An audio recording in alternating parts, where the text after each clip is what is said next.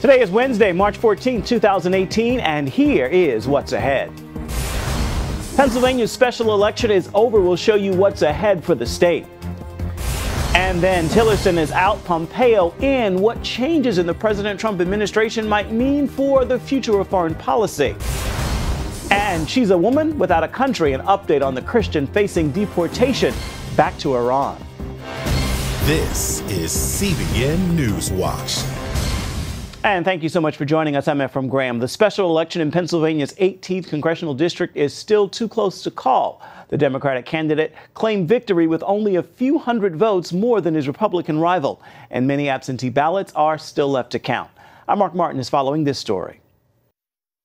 The extremely tight race in western Pennsylvania is viewed by some politicians and analysts as a potential bellwether for the midterm elections in November.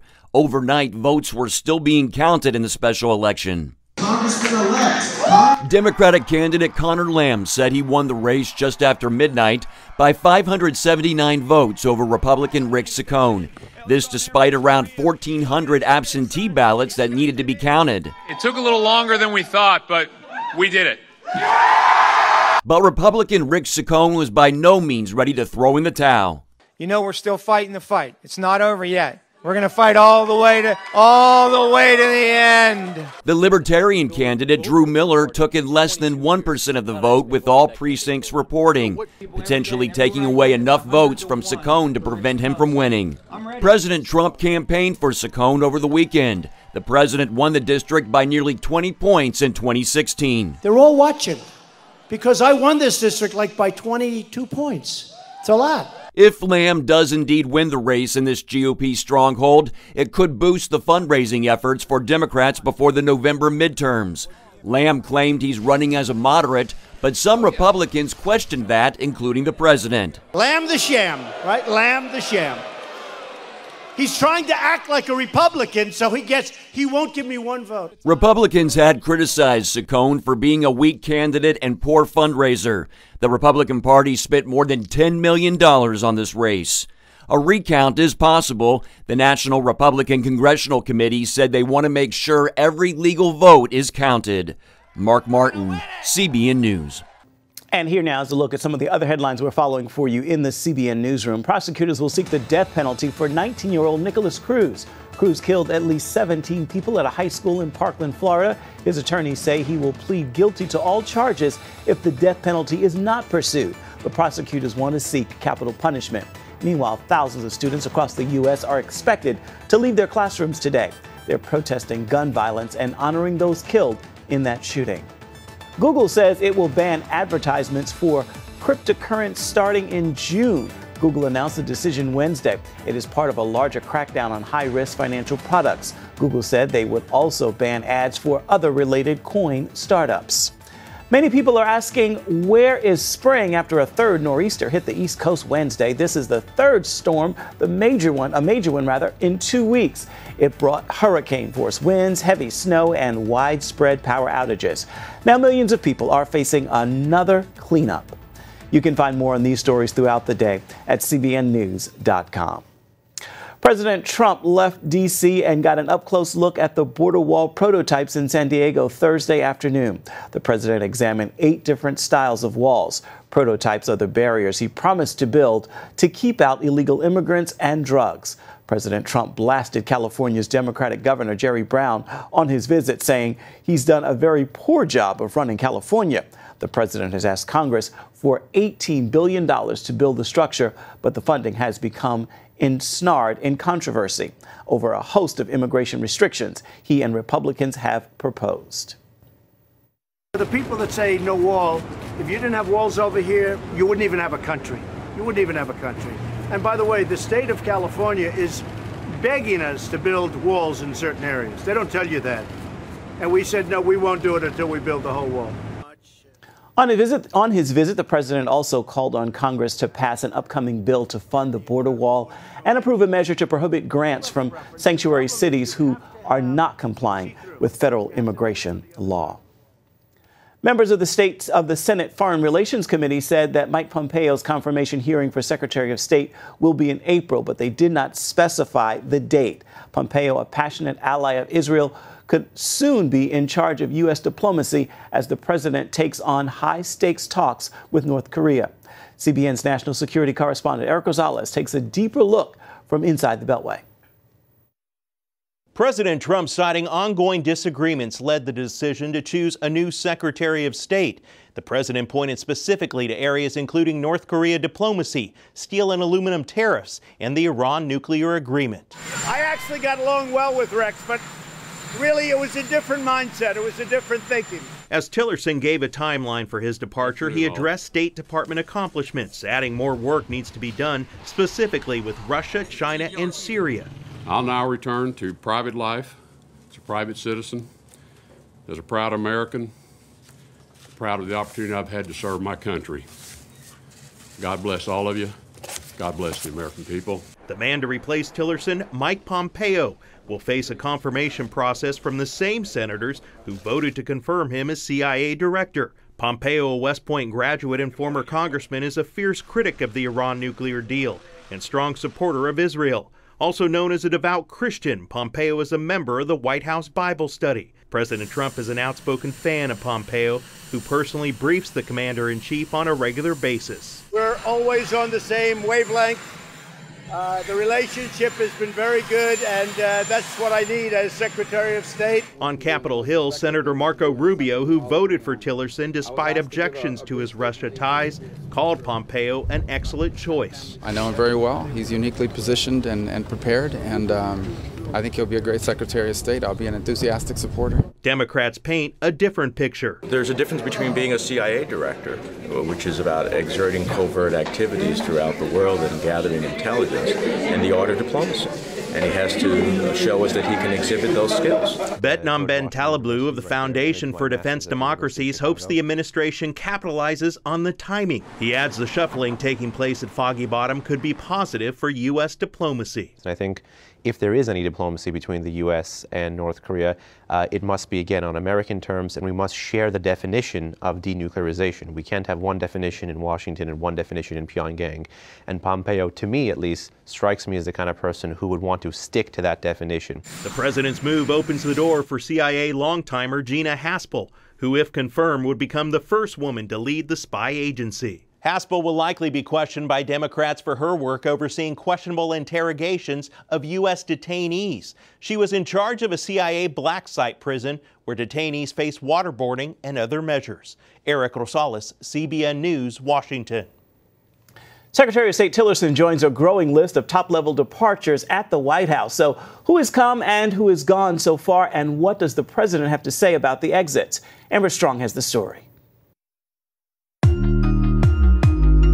Like deja vu. Rex is a very good man. I like Rex a lot. Another week. My commission as Secretary of State will terminate at midnight, March the 31st. Another resignation. So, does the Trump administration have a higher turnover rate than its predecessors? Whether through resignations or those famous words, You're fired.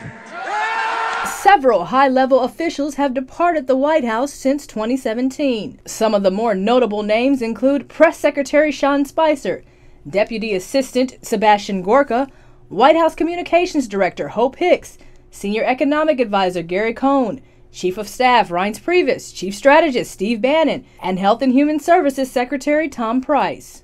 The Brookings Institution says the number of top staffers leaving this White House is nearly three times the departures of the Obama White House in its first year, and double that of Reagan, the previous record holder, out of the last five presidents. It's not abnormal that you would have people come and go. That number suggests the turnover rate is substantial.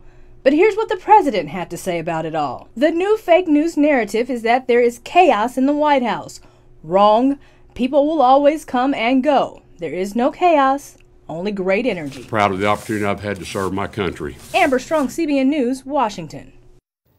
The View co host Joy Behar publicly apologized yesterday for her comments mocking Vice President Mike Pence's faith last month. Behar compared Pence, Pence's listening to Jesus' voice to mental illness, which set off an outcry of protest. Pence appeared, appeared Monday on Fox News and said Behar called him to apologize, but asked her to make a public apology as well. I said to Joy, "Of course I forgive you. That's that's um, part of part of my faith experience." But I did encourage her, and I'm still encouraging her to use the forum of that program or some other public forum to apologize to tens of millions of Americans who were who were equally offended. So, so yeah, so I think Vice President Pence is right. Um, I was raised to respect everyone's religious faith, and I fell short of that. I sincerely apologize for what I said. Behar's apology comes one month after her remarks. Coming up, the Swedish government has given 150 protected identities to former ISIS fighters who have returned to Sweden, but they decided to deport an Iranian Christian, sending her back into an almost certain peril. Her desperate plea for help is coming up.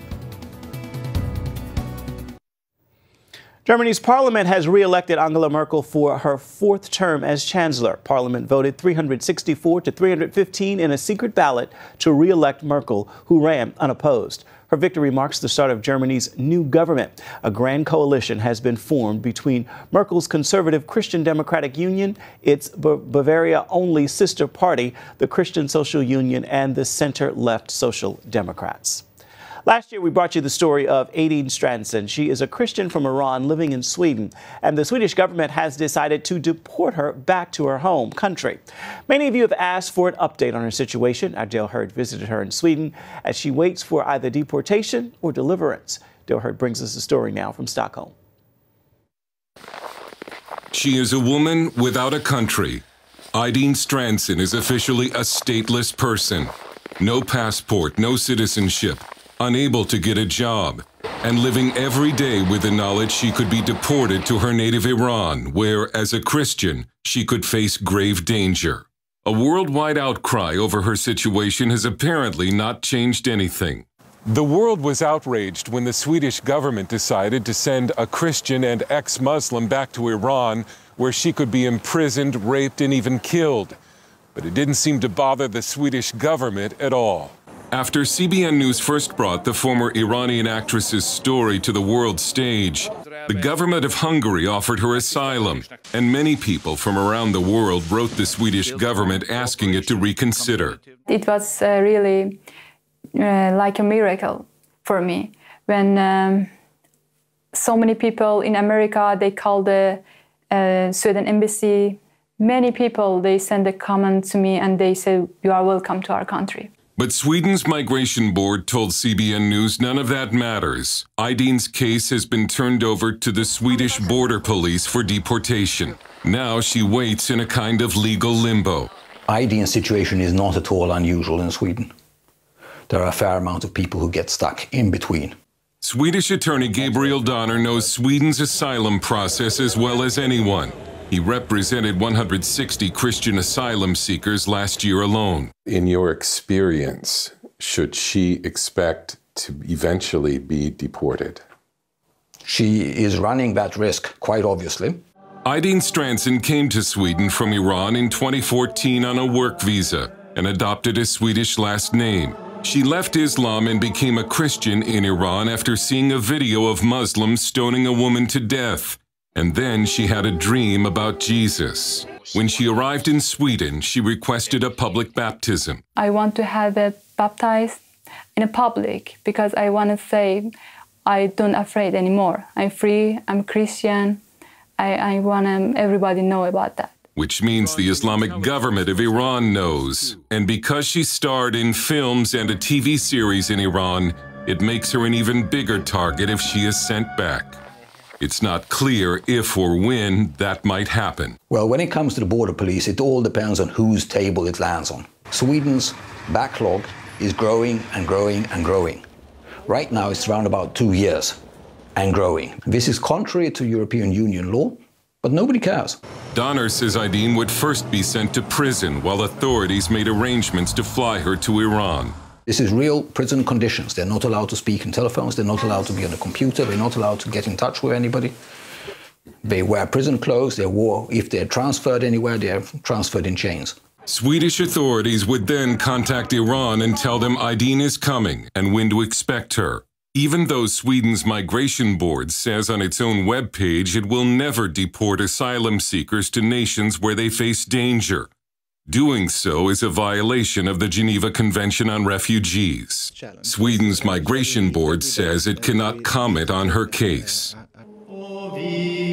Aideen spends her days helping at church or training in Taekwondo. She's earned a black belt, but the migration board took her certificate because she's not a legal resident. She thought she landed a job with the technology giant Ericsson as a computer programmer. But the Swedish government wouldn't allow that either. Sweden turned down Ericsson's plea to let her work for them. So as soon as you get your negative, you cannot get any support of any sort, no housing, no place to work, and so on, even if you had a job before. The idea is to starve you to the point where you come to them and say, please send me out. But she's staying in Sweden because her family is here, and because she says Jesus told her not to be afraid.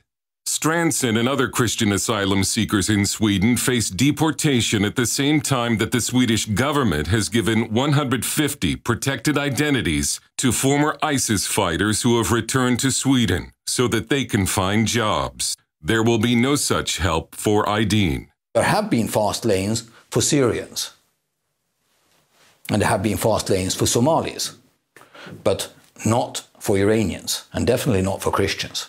We have even one judge here in Stockholm who never has said yes to any Christian. If they're going to act on her case to deport her, she'll get a letter? She doesn't necessarily get anything.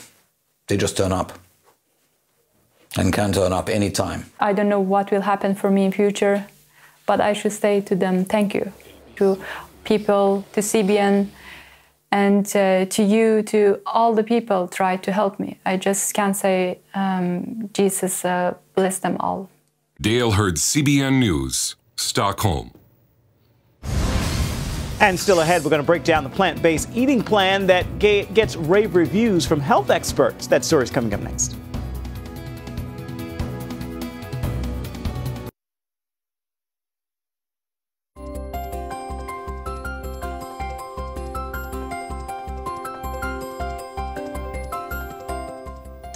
The healthiest diet for your body and your brain is one that is made up of things that grow, like fruits and vegetables. That is the finding from several studies. Lori Johnson takes a look. When it comes to plant based eating, the Mediterranean diet scores high marks. Colorful vegetables and fruits serve as the foundation of the diet. Leafy greens like spinach, kale, and the rest of the rainbow, peppers, carrots, eggplant, tomatoes, and blueberries. Legumes like beans are on it, as well as whole grains like old fashioned oats. Olive oil is a key, as are nuts and seeds. The non plant foods include fish, some dairy like unsweetened yogurt and cheese, and a little poultry like chicken. Noticeably missing from the Mediterranean and other plant based diets are sugars and processed grains, which are in most packaged foods. Also missing beef and pork.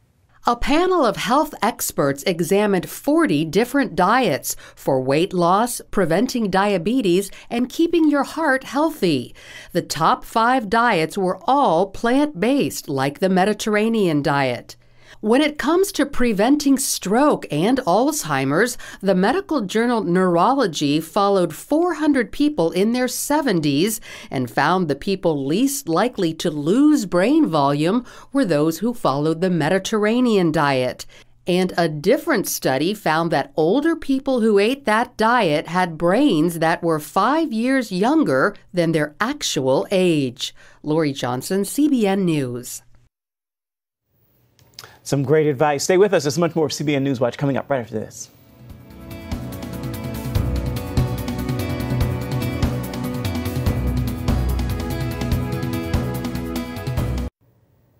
And welcome back right now. It is time for your Wednesday's word, and today's word is real simple. They come from a song I remember listening to as a child, and there are only four words I'd like to focus on at this hour. This too shall pass. Know this no matter what you're facing today, tomorrow, or at any time in your life, how difficult it may be, this too shall pass. With that word, make this a wonderful Wednesday. Well, remember, you can find more of our exclusive coverage of the issues you care most about always at CBNNews.com. And we would love to hear what you think about the stories you've seen here today or any day for that matter. You can do that by emailing newswatch at CBN.com. And we'd love to hear from you. You can reach out and touch us on Facebook, Twitter, and Instagram 24 hours a day. And remember, the news continues always at CBNNews.com. Have a wonderful Wednesday. We'll see you right back here tomorrow. Goodbye. God bless.